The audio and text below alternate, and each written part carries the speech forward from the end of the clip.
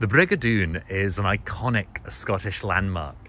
And as Scriever at the Robert Burns Birthplace Museum, when I was considering the theme of the environment, I couldn't help but think it would be the perfect muse. When you think of the Brig o' Doon, you can't help but consider the climax of Tam O'Shanter, when the horse loses its tail. And thinking of horses made me think of horseshoes, and horseshoes made me think of weddings. And that made me think of all of our Scottish traditions and superstitions, and indeed the supernatural.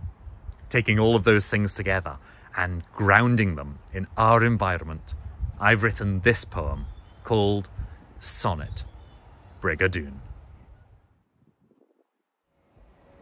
First foot to last, we tow the bridge. The sun is up and reaping autumn's sky. The cut of cake across is confirmation of I do.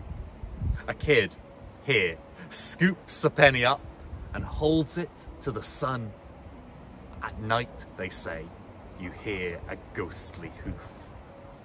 The scene is caught, all beaming teeth, while just beneath, yes, look, a fizzing plume of kingfisher.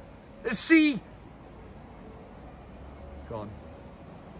The swallowed grins depart the bridge. The sun has swung itself beyond the day. The kid has not, is now a warlock with a stick, and held aloft he tries to bend the Doon. The river runs its course. A distant horse is heard. A stick is carried to the Firth.